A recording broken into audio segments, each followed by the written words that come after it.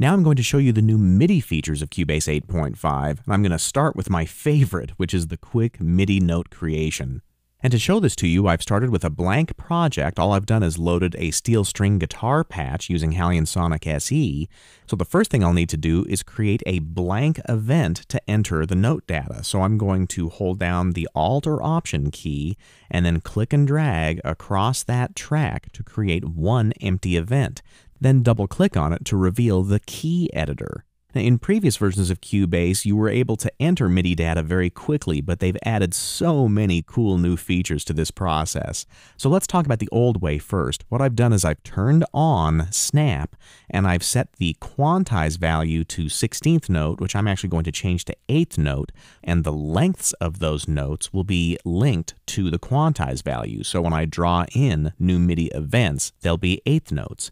So if I wanted to add some notes to this event, I could right or control click on the mouse and choose my draw tool and then single click to create an event. So if I wanted to start making a C major scale, You'll notice that every single note that I create is making eighth notes, but now there's an even faster way to do this. So I'm going to undo those note creations, and I'm going to go back to my object selection tool.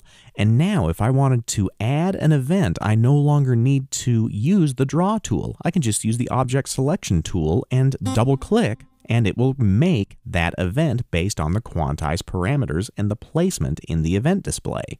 Now here's the next new thing you can do. I'm going to create the D of our scale right here, and I'm going to double click, but this time instead of releasing the mouse button on the second click, I'm going to continue to hold it down. So double click and hold the mouse button down. It creates the second note, but now, while I'm holding the mouse button down, if I drag to the right on the screen, then I'm able to adjust the length of the note in eighth note increments. And while I'm still holding the mouse button down, I'm going to hold down Control or Command, and you'll notice now that temporarily turns off the snap, so it's not automatically incrementing them by eighth note lengths. So I'm just going to drag back here to make an eighth note. Now when I make the next note, I'm going to show you how you can change the velocity of the note upon its creation. Normally, the velocities are set to the default value of 100, so if you look in the velocity lane down here, you'll notice that the previous two events that I made are all at velocity 100 but now I'm going to make the third note by double clicking, but I'm going to continue to hold the mouse button down after the double click. So I've made that note, but I'm still holding the mouse button down.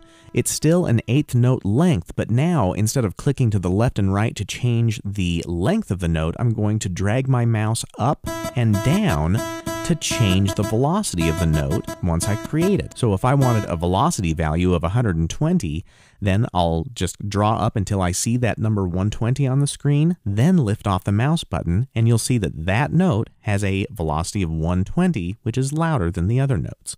Let's use another new feature.